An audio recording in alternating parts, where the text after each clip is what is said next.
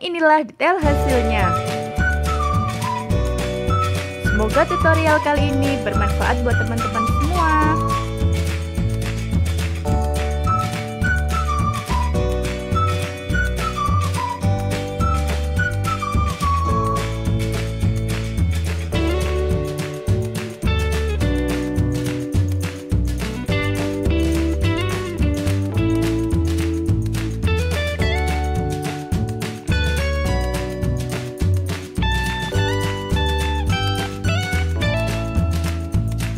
Thank you so much for watching this video and don't forget to like, comment, and subscribe. Bye bye.